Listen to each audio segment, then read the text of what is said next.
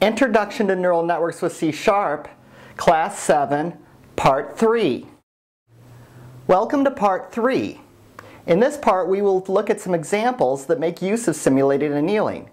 Particularly we will look at the traveling salesman program. We will also look at how to use simulated annealing to train a neural network. We begin with the traveling salesman example.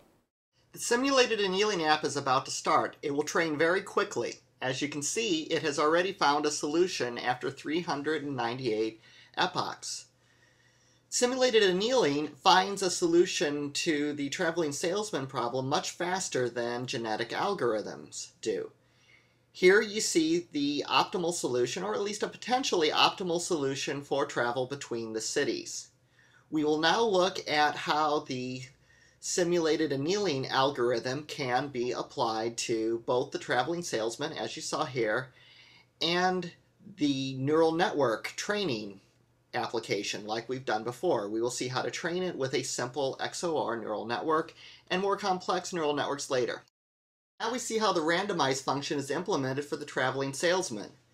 First, we get the length of the city itinerary list. This is how many cities we're going to visit and we're going to loop from over these cities by a number of times equal to the current temperature. As the temperature increases, we'll loop over this more times and the effect on the cities list will be greater.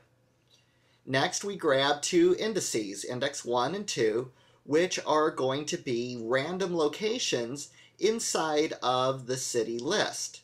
Using these two indexes, we will loop over the entire list and perform randomizations.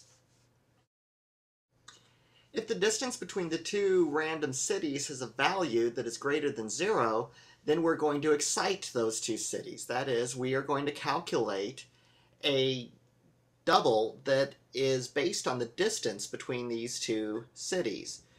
Through the various additions and subtractions, we create a somewhat random number, basically based on the distance between the two cities. This number is going to be used to determine which subsequent cities from these we should sort. Again, according to the simulated annealing algorithm, we are simply exciting the cities, much like molecules are excited when heat is applied to them. This will allow the cities to excite less as the temperature decreases and move themselves ideally into a more optimal solution. Inoptimal solutions that don't increase the overall effectiveness of the solution will be discarded.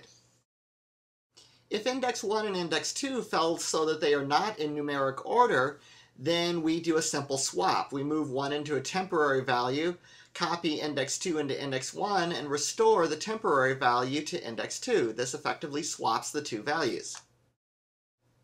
Values need to be swapped because we're going to loop between the two index values and excite all of the cities along the way. Because of this, the two values have to occur in numeric order. Here you see the stretch of cities excited in much the same way that molecules are excited when heat is applied. We are going to loop between the two index values and we're going to basically swap the cities all along the way. This excites this random range of cities that was determined based on a formula between the distance and the current temperature levels. This will create a somewhat random swapping of the cities. We also do not need to worry about loops appearing in the traveling salesman program. Loops would occur if the traveling salesman would visit the same city more than once. We assume that the itinerary was initialized with no duplicate cities. Since we're merely swapping values around, there's no way that what we're doing is going to introduce a loop into the cities. We had to worry about loops in genetic algorithms so that we did not duplicate cities. This is not needed in simulated annealing. And now we're going to apply simulated annealing to neural network training. We're going to see how we can use a training set just like we did before and apply simulated annealing to train the neural network. Training a neural network with simulated annealing will sometimes get past local minima that were encountered by backpropagation. Later we will see how we can use simulated annealing to help back propagation to get past flat spots that it's encountered in its training, where it doesn't seem to be training optimal anymore.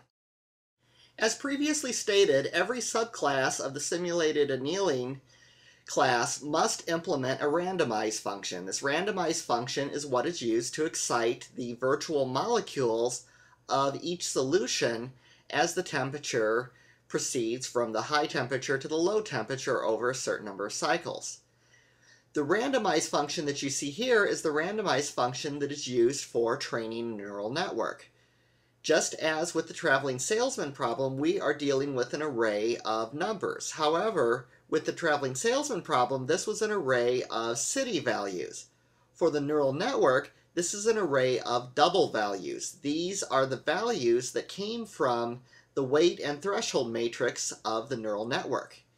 You can see that an array, which is called array, is created that contains a linear array of the weight matrix we use the matrix codec function, which is just a very simple function that is used to the network to array is used to convert a network to an array of numbers that make up the weight matrix and thresholds. The matrix codec class also provides an array to network, which does the opposite of this. It takes the array that was produced and converts it into a linear length of numbers. This is also used for genetic algorithms as well. Here we loop across this array and we decide how much we want to add to each element of the array by adding values to this, which can also be a, a it's a random number generated based on the temperature. We are exciting the various values in the neural network, weight and threshold matrices, according to the temperature. So as the temperature decreases, these excitements are going to be less and less. This works in a very similar fashion to the traveling salesman problem, and it allows temperature-based excitement and randomizations of the matrix. This concludes class 7. It is at this point in the course that we have the midterm exam. The midterm exam will be due by class 8. In Class 8, we will review my solution for the midterm exam program. We hope you will continue with Class Session 8. Thank you. This course is based on our Introduction to Neural Network Programming books for Java and also Introduction to Neural Networks for C Sharp. Available in both paperback and ebook format.